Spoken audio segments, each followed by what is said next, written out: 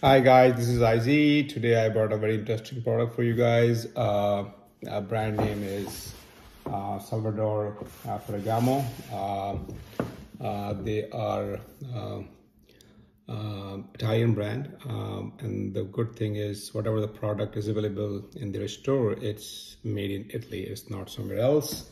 Compared to the other brand, they charge you a bag of money, and they give you a product which is not made in Italy uh, somewhere else. So this shoes I picked up uh, is pretty pretty nice, beautiful, and very comfortable. Um, it's uh, it's a leather, 100% leather, and uh, uh, I really like the, the, the product itself. I also picked up uh, a nice belt, which I did not have a plan to buy, but uh, the sales rep was so nice, and she's very beautiful. So I pick up uh, this belt as well. It's also uh, Ferragamo, uh, you can see. Uh, pretty nice uh, leather belt.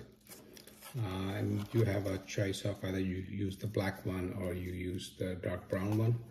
So product itself is just nice. Brand is good. they covered the warranty for, for one year. So if you're looking something good quality shoes and the belt, I would recommend uh, that's the product is, that's the brand is the way to go. Thank you.